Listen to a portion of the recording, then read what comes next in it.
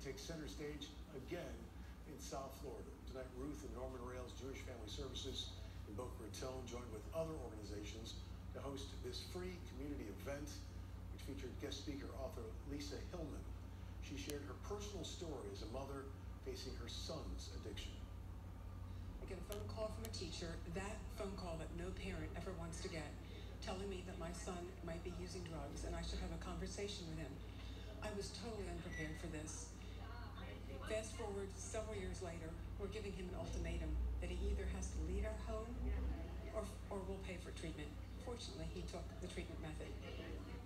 Hillman's son now works in the addiction and recovery field. He also attended the event tonight for a question and answer session.